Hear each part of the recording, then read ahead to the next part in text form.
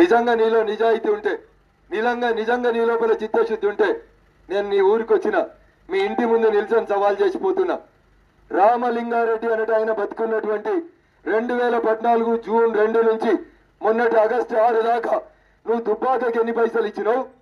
గజ్వేల్కి ఎన్ని పైసలు ఇచ్చినావు? పటాన్ చెరువుకి ఎన్ని పైసలు ఇచ్చినావు? లెక్క తీసుకొని రేపు పొద్దుగా లేరా అంబేద్కర్ చౌరస్తా కాడికి. నేను వస్తా నువ్వేం చేసినావో దుబ్బాకకి నేను చెప్తా. ముచ్చట చెప్తాడు హరీష్ రావు ప్రభాకర్ రెడ్డి ఇద్దరు కలిసి. ఏమని? రామలింగారెడ్డి సబ్ స్టేషన్లు కట్టిండు. రామలింగారెడ్డి స్తంభాలు వేసిండు. ప్రభాకర్ రెడ్డి గారు మీరు చెప్పాలి. నువ్వు పార్లమెంట్లో ఉన్నావు కదా? మోడీ గారు కదా? ఏడు కోట్ల డెబ్బై లక్షల రూపాయలు దుబ్బాకల సబ్ స్టేషన్లు కట్టేందుకు మేము బీజేపీ వాళ్ళం ఇస్తే ఆడ అంబేద్కర్ కాడ నిల్చొని హరీష్ రావు చెప్తాడు. పెద్ద కొడుకు పింఛను ఇత్తుండు. ఇత్తుండు. అవ పెద్ద కొడుకు పింఛను? ఇత్తుండా? రెండు వేలు ఇచ్చిండు. ఎన్ని గుంజుతుండో చూడురి వాకిలు కొలిసిరా మొన్న? కొలిసిరా కొలవలేదా వాకిలు కొలిసిరా పెరడు కొలిసిరా ఎల్ఆర్ఎస్ కట్టమంటురా ఈ ఓట్లు అయిపోగానే గుద్దుతారా మనల్ని?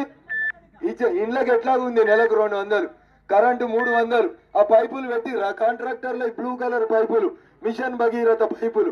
దానికి కూడా మీటర్ పెడతాడు. రెండు బకెట్ల కంటే ఎక్కువ స్నానం చేస్తే ఐదు వందలు బిల్లు వస్తుంది నల్లకు బిల్లు కరెంటుకు బిల్లు ఇంటికి బిల్లు వాకిలికి బిల్లు పెరడుకు బిల్లు ఇది మాట్లాడటం చేత కాదు కానీ టిఆర్ఎస్ వాళ్ళు చెప్తారు బీజేపీ వాడు వస్తే పింఛన్ కడిగేస్తాం ఎక్కడిది పింఛన్? మోడీ గారు ఇస్తున్నారు. నేను చెప్పలే ప్రభాకర్ రెడ్డి గారు. మీ సహచర ఎంపీ మొన్నటి దాకా నిజామాబాద్ ఎంపీ ఉండే ఒక ఆమె. మనందరితో బతుకమ్మ ఆడిచ్చి ఇలా ఆమె బతుకమ్మ ఆడితందుకు పోయింది. కవిత చెప్పింది ఏడు వందల యాభై రూపాయలు మోడీ గారు ఇస్తున్నారు మిగతా రెండు వందల యాభై మా నాయన ఇస్తుండు అని చెప్పింది. కావాలంటే వీడియో పోతారా వాళ్ళందరికీ పంపిస్తాం. కాబట్టి దయించి మీ పని మీరు చేసుకోండి మా పని మేము చేసుకుంటాం. తప్పుడు మార్గాలు అవలంబించి మమ్మల్ని భయపెట్టిస్తామంటే ఈడ భయపెట్టేందుకు ఎవ్వరు కూడా సిద్ధంగా లేడనేది ఈ సందర్భంగా తెలియజేస్తా ఉన్నాం. గెలిస్తే గెలిచి ఉంటారు గాల్లో గెలిచి ఉంటారు గాల్లో గెలిచారు గాల్లోనే పోతారు. దానికి ఏం మాకు బాధ లేదు. మేము కష్టపడేవాళ్ళం చెట్ల పేరు చెప్పుకొని కాయలు అమ్ముకునేటోళ్ళం కాదు. జెండాలు మోసినాం జెండా గద్దెలు కట్టినాం. ఊరు పంటి తిరిగిన వాళ్ళం మేము. తెలంగాణ ఉద్యమంలో ఉన్నోళ్ళం జైల్లోకి పోయిన వాళ్ళం మాకు పైసలు లేకపోవచ్చు గరీబ్ వాళ్ళం కావచ్చు పోలీసు వాళ్ళ లాఠీ దెబ్బలు తినొచ్చు. మాకు పైసలు లేకపోయినా ప్రజలు మా పక్షాన ఉన్నారని చెప్తా ఉన్నాం. మీలాగా పైసలు వంచి బీర్లు వంచి బిర్యానీలు వంచి ఊరూర్లకి వెళ్ళి పక్క తెచ్చి బెదిరించి రాజకీయం చేయాల్సిన అవసరం మాకు లేదు. కాబట్టి ఒక్కసారి అవకాశం ఏంరి టీఆర్ఎస్ వాళ్ళకి చాలా సార్లు ఇచ్చిర్రు. సర్పంచ్ వాళ్ళే ఎంపీటీసీ వాళ్ళే జెడ్పీటీసీ వాళ్ళే గట్లొత్తుంటే కాషాయ అని ఒక సోదరుడు చెప్పిండు. ఎంత సిగ్గుచేటంటే మోరి ఈందా కట్టిరు రెండు గజాలు ఇడిచిపెట్టి అవతల కట్టిరు ఆయన టీఆర్ఎస్ కాదట. అందుకని వాళ్ళ ఇల్లుని వెనకకు జరిపితే మోరి ఇంట్లోకి వెళ్ళిపోతుందట. గిన్నె ఉన్నాడు కాషాయ అని ఒక తమ్ముడు ఇందాక వస్తుంటే చూపెట్టి. ఇక ఇది మన కక్ష సాధింపు. వెనక నా ఊర్లలో వెనకడికి పదేళ్ళు కాంగ్రెస్ అధికారంలో ఉంది కదా కాంగ్రెస్ వాడు కూడా గిట్లే పంచాయతీ పెడితే మన పరిస్థితి ఏందనేది ఆలోచించండి. కాబట్టి దయించి ప్రజాస్వామ్యాన్ని గౌరవించండి ప్రజాస్వామ్య విలువల్ని కాపాడండి. మీలాగా మేము ఇటువంటి ఇటు అటంటి అటు తలుపు పెట్టేవాళ్ళం కాదు గరీబ్ వాళ్ళ తరఫున కొట్లాడేటోళ్ళం. ఐదేళ్ళకెళ్ళి డబుల్ బెడ్రూమ్లు ఎందుకు రాలేదని బరాబరి నిలదీసేటోళ్ళం. కాబట్టి రామలింగారెడ్డి ఏం చేయలే ప్రభాకర్ రెడ్డి ఏం చేయలే పోతారానికి. ఇక రేపు సుజాత వస్తే ఏం చేస్తుందో ఒకసారి ఆలోచించు. ఉంచుతాడు హరీష్ రావు అనేటోడు ఆయనకు ఒకటి అలవాటు అన్నట్టు. మళ్ళీ వాళ్ళంతా పొట్టి పొట్టిగా ఉన్నారు. నేను బాగా పొడుక్కున్నా అందరి నెత్తి మీద అల్కగా చేయి పెట్టవచ్చు అనుకుంటా పెట్టుకుంటూ పోతాడు ఆయన. ఆయన ఏమనుకుంటాడంటే పొట్టివంతల పొడుగోడు కొడతాడు నేనైతే పొడుక్కున్నా నా తలేవనికి అండదు అనుకుంటాడు. కానీ ఏం చెప్తారు ఊర్లలో పొట్టివంతల పొడుగోడు కొడితే పొడుగు పోషమ్మ కొడుతుంది. అక్కడ ఉన్నారు మా పోషమ్మ తల్లులంతా ఆలోచించాలి ఇవాళ. పింఛన్ పోదు డబుల్ బెడ్రూమ్ పోదు సిమెంట్ బెడ్ పోదు బాత్రూమ్ పోదు. ఏం పోతుంది అంటే హరీష్ రావు మంత్రి పదవి పోతుంది. వాళ్ళ బామ్మర్ది రెడీగా ఉన్నాడు. ఈయన ఎప్పుడు వీకెత్తామా అని. ఆ ఊసిపోయే ముక్కుకి ఇంత పంచాయతీ ఎందుకు హరీష్ రాయుడా? నీ పని నువ్వు చేసుకో మా పని నేను చేసుకుంటాను. నీకు అంత షోకుంటే నువ్వు పోటీ చేయాలని కోరుకుంటే రా. లేదు ప్రభాకర్ రెడ్డి గారికి కోరుకుంటే రాజీనామా చేయించేయండి. తేల్చుకుందాం. కానీ సిద్దిపేట కన్ను దుబ్బాకో కన్ను. ఎందుకు నీ రెండు కళ్ళ సిద్ధాంతం? చెప్పి చెప్పి అరిగిపోయిన రికార్డు మాకెందుకు అని చెప్పి ఈ సందర్భంగా తెలియజేస్తూ పోతారం పెద్దల్ని మేము ప్రేమతోటే గెలవాలనుకుంటున్నాం. పైసలతో గెలవాలనుకుంటలేం మా దగ్గర పైసలు లేవు. మా దగ్గర ఇటువంటి పెద్ద పెద్ద బంగ్లాలు లేవు మా దగ్గర. రెండు సార్లు ఎంపీలు కాగానే నాలుగు నాలుగు అంతస్తులు కట్టేని కాంట్రాక్టులు మేము చేస్తలేం.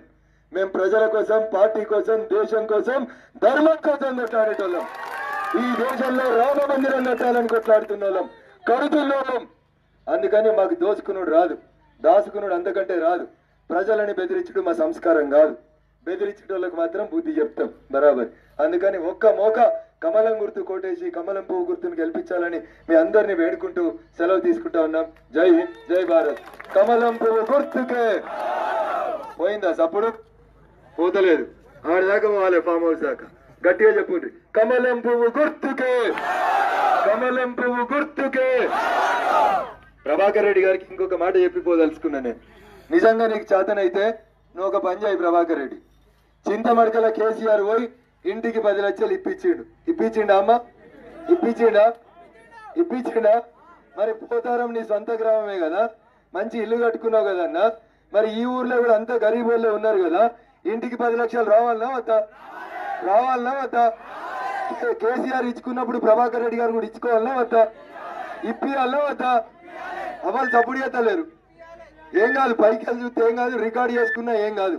ఏం కొట్టాడు? ఎల్లుండి తర్వాత మళ్ళీ రాడు అన్న. ఎలక్షన్లు అయిపోతే మళ్ళీ ఐదేళ్ళ దాకా రాడు. అందుకని గట్టిగా చెప్పాలి. రావాలా వద్దా పది లక్షలు? పది లక్షలు రావాలా వద్దా? రేపు ఓట్లప్పుడు వస్తారు ఇక. వీళ్ళు లేకపోతే ఇక మనం దసరా పండుగ చేసుకోలేదు. బతుకమ్మకి చీరలు కొనుక్కోలే. ఇక బతుకమ్మ చీరలు ఇస్తారట. రేపు నాలుగు యాటలు కొత్తారట పోతారంలో. కోసి ఇంటికి రెండు కిలోల మటన్ పంపిస్తారట. ఎందుకు? అన్నా పోతారంలో? ఎన్నడు పోతారంలో ఇక దసరానే లేదా? ఎలక్షన్ లేకపోతే? గట్ల ఇచ్చే తీస్తుర్రాళ్ళు రెండు రెండు బాటిల్ అట రెండు రెండు కిలోల మటన్ అట ఏంది మనం? రెండు కిలోల మటన్కి మనం ఓట్లు అమ్ముకుంటాం. ఒక్కసారి ఆలోచించుండ్రి. ఒక్క ఉద్యోగం ఇయ్యలే పోతారానికి. ఒక్క డబుల్ బెడ్రూమ్ ఇల్లు ఇయ్యలేదు. దళితులకి మూడు ఎకరాల భూమి ఇయ్యలే. రైతు రుణమాఫీ చేయలే. చిట్టాపూర్లు ఇచ్చినట్టు ఇంటికి పది లక్షలు ఇయ్యలే.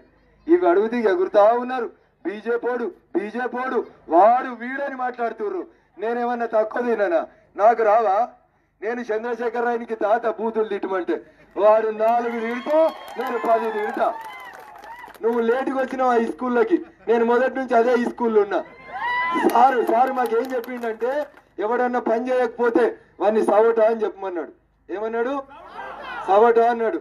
సన్నాసి అన్నాడు. దద్దమ్మ అన్నాడు. పనికి మాలినోడు అన్నాడు. గుడ్డి గాడిద పళ్ళు దోముతున్నారా అన్నాడు. కాంగ్రెస్ మంత్రుల్ని కేసీఆర్. అన్నాడా లేదా? మరి చిట్టాపురంలో ఇంటికి పది లక్షలు వచ్చి పోతారంలో రాకపోతే అనాలో సపోర్ట్ చేయరు.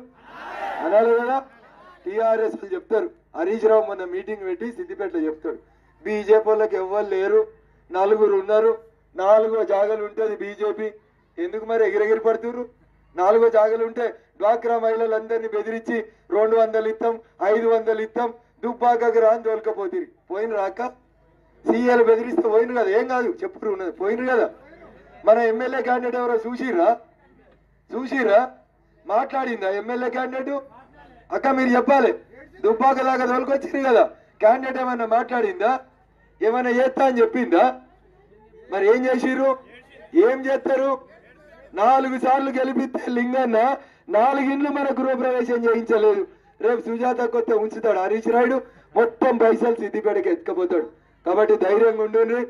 ఏం కాదు. ఏం కాదు. మనం కూడా గట్టి కొట్లాడదాం భయపడవద్దు